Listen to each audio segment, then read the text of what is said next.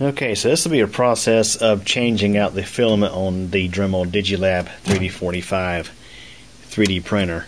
So, what we got to do is we got to first cut the filament right at the top of the extruder here. It's a direct drive extruder.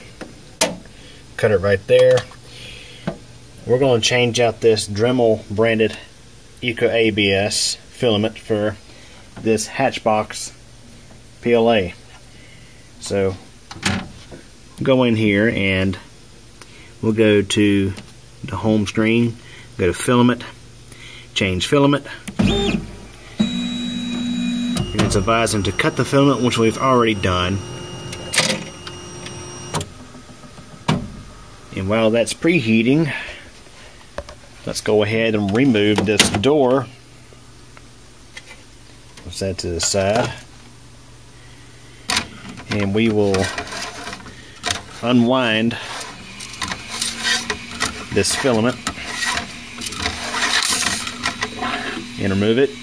So this is what Dremel's filament looks like. Now of course there's not much left on the spool.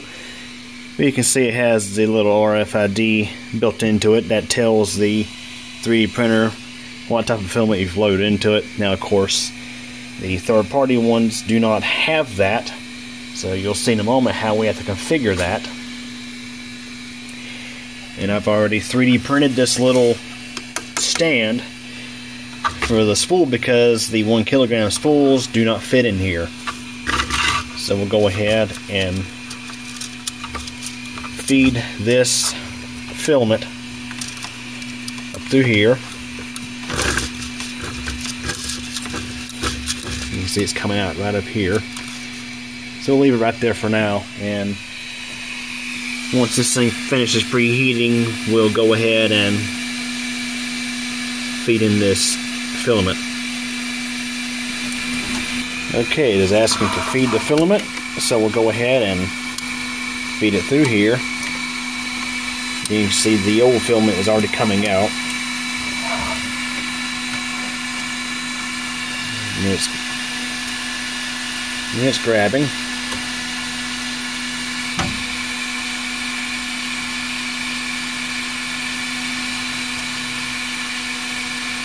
let it do its thing.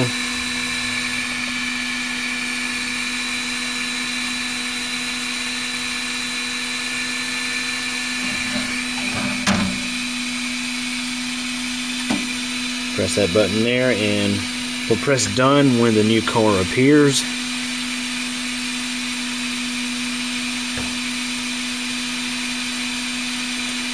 And we are good. Now you can see it says RFID detecting, but of course since we don't have Dremel filament in this thing, it's not going to detect anything and it's going to ask us what we installed. So you can see it says filament type not detected, please select. We'll select PLA. However, I should note that um, with this PLA, it actually prescribes a max of 210 degrees Celsius for the extruder temperature, or the nozzle temperature is going to increase that. Actually, going to decrease it to 210. Now, this platform, it defaults to 35. I usually run it at like 50.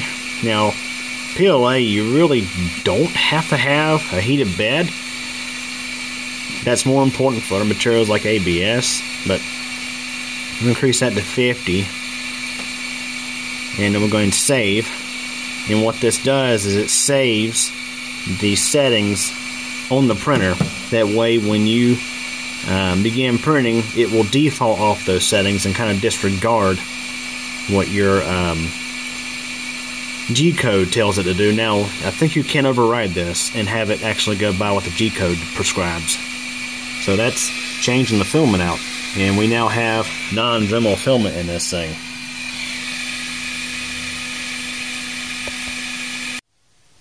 Hey everybody.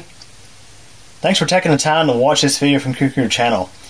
If this is your first time, please subscribe to the channel and be sure to tick the bell so we get notified a new video posts.